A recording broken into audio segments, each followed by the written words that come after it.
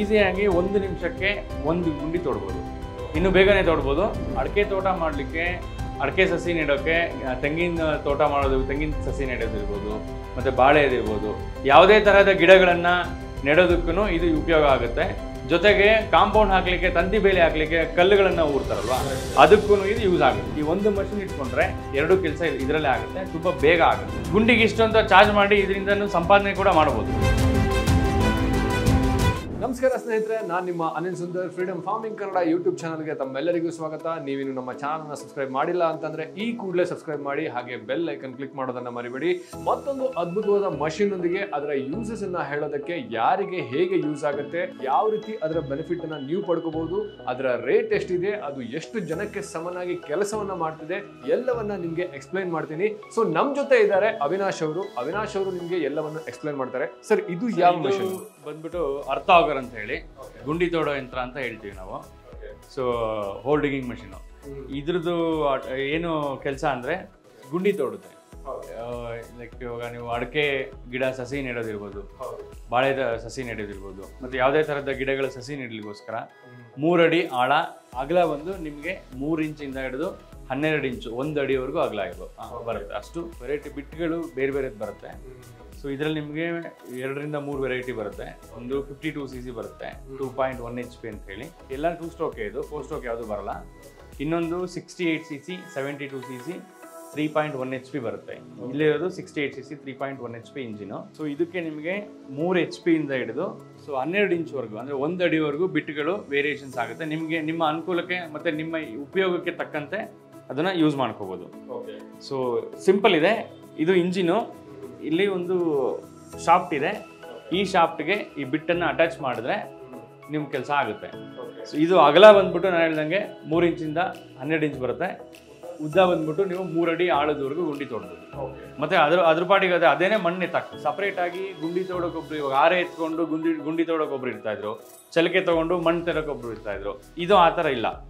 So ಇದ್ರ ಪಾಟಿಗೆ ಗುಂಡಿ ತೋಡ್ತಾ ತೋಡ್ತಾನೆ, ನೀ ಮಣ್ಣನ್ನು ಅದನ್ನೇ ಎತ್ತಾಕ್ತದೆ. ಸೊ ಈಸಿಯಾಗಿ ಒಂದು ನಿಮಿಷಕ್ಕೆ ಒಂದು ಗುಂಡಿ ತೋಡ್ಬೋದು. ಇನ್ನು ಬೇಗನೆ ತೋಡ್ಬೋದು.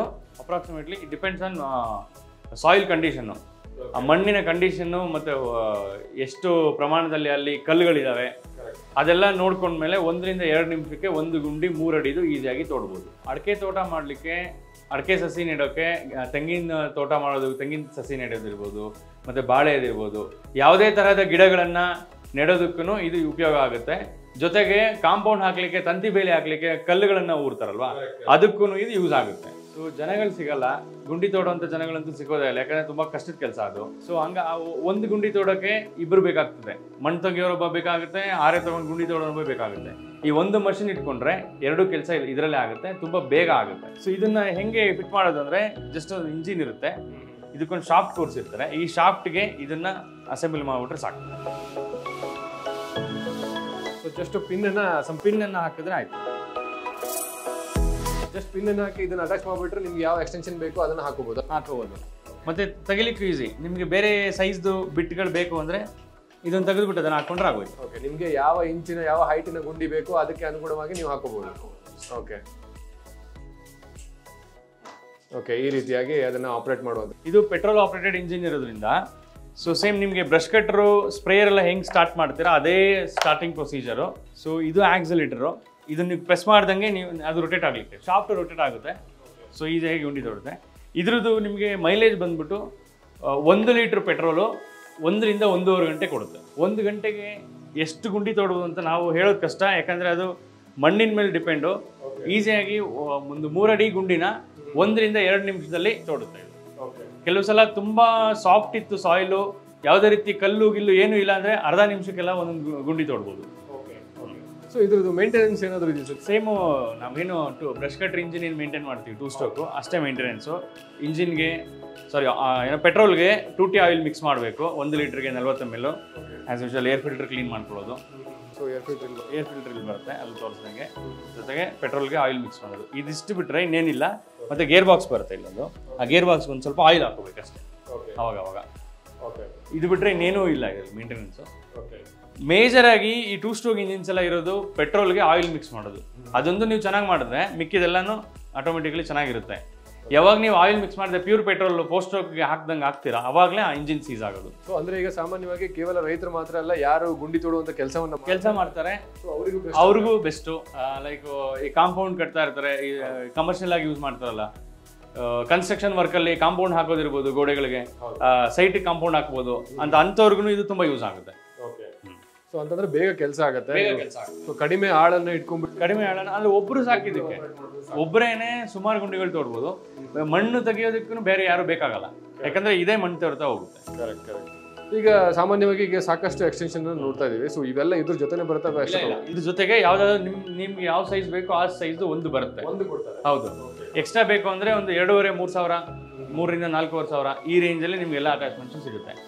ಸೊ ಇದ್ರದ್ದು ಬೆಲೆ ಬಂದ್ಬಿಟ್ಟು ಅಪ್ರಾಕ್ಸಿಮೇಟ್ಲಿ ಅರೌಂಡ್ ಒಂದು ಹದಿನೈದರಿಂದ ಹದಿನೆಂಟು ಸಾವಿರ ಇಪ್ಪತ್ತು ಸಾವಿರ ಈ ರೇಂಜಲ್ಲಿ ಇದೆ. ಅಂದರೆ ಅಂದ್ರೆ ಫಿಫ್ಟಿ ಟೂ ಸಿ ಸಿ ಬೇಕು ಅಂದ್ರೆ ನಿಮ್ಗೆ ಒಂದು ಹದಿನೈದು ಸಾವಿರಕ್ಕೆ ಸಿಗುತ್ತೆ. ಸಿಕ್ಸ್ಟಿ ಏಯ್ಟ್ ಸಿ ಸಿ ಸ್ವಲ್ಪ ಹೆವಿ ಬೇಕು ಅಂದ್ರೆ ಹದಿನೆಂಟು ಸಾವಿರ ವಿತ್ ಬಿಟ್ಟು ನಾನು ಹೇಳ್ತೀನಿ. ಅಂದರೆ ಒಂದು ಯಾವುದಾದ್ರು ಬಿಟ್ಟು ಬರುತ್ತೆ ನಿಮಗೆ. ಎಕ್ಸ್ಟ್ರಾ ಬಿಟ್ಟು ಬೇಕು ಅಂದ್ರೆ ನಿಮ್ಗೆ ಎರಡೂವರೆಯಿಂದ ಮೂರುವರೆ ಸಾವಿರ ನಾಲ್ಕು ಸಾವಿರದವರೆಗೂ ಇದೆ. ಸೊ ಈ ನನ್ನ ಸಜೆಷನ್ ಏನು ಅಂತಂದ್ರೆ ಈಗ ಊರಲ್ಲಿ ಒಂದಿಷ್ಟು ರೈತರು ಇರ್ತಾರೆ. ಸೊ ಯಾರ ಹತ್ರನು ಇಂಥ ಮಷಿನ್ ಇಲ್ಲ ಅಂತಂದ್ರೆ ಖಂಡಿತ ನೀವೊಬ್ರು ತಗೊಳ್ಳೋದು ಬೆಸ್ಟ್ ಅಂತ ಹೇಳ್ತೀನಿ. ಯಾಕಂದ್ರೆ ನಿಮ್ಗೆ ಒಂದು ಒಳ್ಳೆ ಕೆಲಸ ಸಿಗುತ್ತೆ ಅಂತ ಹೇಳ್ಬೋದು. ಬಾಡಿಗೆನ ಹೊಡಿಬೋದು. ಲೈಕ್ ಬ್ರಷ್ ಕಟ್ರಲ್ಲಿ ಹೆಂಗೆ ನಾವು ಬಾಗೆ ಹೊಡಿ ಹೊಡಿತಾರೆ. ಅದೇ ತರ ಗುಂಡಿ ತೊಡೋ ಕೆಲಸ ನಿಮ್ ಕೆಲಸ ಮುಗಿದ್ಮೇಲೆ ಗುಂಡಿಗೆ ಇಷ್ಟು ಅಂತ ಚಾರ್ಜ್ ಮಾಡಿ ಇದರಿಂದ ಸಂಪಾದನೆ ಕೂಡ ಮಾಡಬಹುದು ಒಂದು ಎಕ್ಸ್ಟ್ರಾ ಅರ್ನಿಂಗ್ ಕೂಡ ಪಾಸಿಬಿಲಿಟಿ ಇದೆ ಇದರಿಂದ ಮಾಡ್ಕೋಬಹುದು ಹೌದು, ಯಾಕಂದ್ರೆ ನೀವು ಒಂದು ಹದಿನೆಂಟು, ಇಪ್ಪತ್ತು ಸಾವಿರ ಒಂದು ಇನ್ವೆಸ್ಟ್ ಮಾಡ್ತೀರಾ ಅಂತಂದ್ರೆ ಸೊ ಅದನ್ನು ರಿಟರ್ನ್ ಕೂಡ ನೀವು ಅದನ್ನು ಕೆಲಸ ಮಾಡಿ ಕೂಡ ರಿಟರ್ನ್ ಅನ್ನು ತೆಗಿಬಹುದು ಯಾಕಂತಂದ್ರೆ ಯೂಸ್ಫುಲ್ ಆಗಿರುವಂತ ಮಷೀನು ಯಾಕಂದ್ರೆ ಅಡಿಕೆ ತೋಟ ಅಥವಾ ಬಾಳೆ ತೋಟ, ತೆಂಗಿನ ತೋಟ ಯಾರು ಮಾಡ್ತಾರೆ? ಖಂಡಿತವಾಗಿ ಅವರಿಗಂತೂ ಬೆಸ್ಟ್ ಅಂತಾನೆ ಹೇಳ್ಬೋದು. ಯಾಕಂತಂದ್ರೆ ಸೊ ಎಲ್ಲ ಗುದ್ದಲಿ ತಗೊಂಡು ಮಾಡೋದಕ್ಕೆ ತುಂಬಾ ಅಷ್ಟು ಎಕರೆಗಟ್ಟಲೆ ನೀವು ಕೃಷಿ ಮಾಡಿದವಾಗ ಖಂಡಿತ ಸಾಧ್ಯ ಆಗೋದಿಲ್ಲ. ಅಂಥದಕ್ಕೆ ಈ ಮಷೀನ್ ತುಂಬಾ ಯೂಸ್ಫುಲ್ ಅಂತಾನೆ ಹೇಳ್ಬೋದು. ಸೊ ಹಾಗೆ ವೀಕ್ಷಕರೇ, ಇನ್ನಷ್ಟು ಮಷಿನ್ಗಳ ಮಾಹಿತಿ ಹಾಗೆ ಇನ್ನಷ್ಟು ಕೃಷಿಯ ಬಗ್ಗೆ ಮಾಹಿತಿ, ಯಾವುದೇ ಕೃಷಿಯ ಬಗ್ಗೆ ಏನೇ ಮಾಹಿತಿ ಬೇಕಂತಂದ್ರೂ ನೀವೇನ್ ಮಾಡಬೇಕು? ಫ್ರೀಡಮ್ ಆಪ್ ಅನ್ನು ಡೌನ್ಲೋಡ್ ಮಾಡಬೇಕು. ಫ್ರೀಡಮ್ ಆಪ್ನಲ್ಲಿ ಸಾಕಷ್ಟು ಕೋರ್ಸ್ಗಳಿದ್ದಾವೆ ಆ ಕೋರ್ಸ್ನಲ್ಲಿ ಯಶಸ್ವಿ ಸಾಧಕರು ಕೃಷಿ ಮಾಡಿ ಅವರ ಸಾಧನೆಯ ಫಲವನ್ನ ನಿಮಗೆ ತಿಳಿಸ್ತಾ ಇದ್ದಾರೆ. ಸೊ ಅದನ್ನ ನೀವು ಅರತ್ಕೊಂಡು ನೀವು ಕೂಡ ಯಶಸ್ವಿ ಕೃಷಿಕರಾಗಬಹುದು ಅಂತ ಹೇಳ್ತಾ ಮತ್ತೆ ಮುಂದಿನ ವಿಡಿಯೋದಲ್ಲಿ ಇನ್ನೊಂದು ಅದ್ಭುತವಾದ ಮಷಿನ್ ಒಂದಿಗೆ ಭೇಟಿ ಆಗ್ತೀನಿ ಅಲ್ಲಿವರೆಗೂ ನಮಸ್ಕಾರ.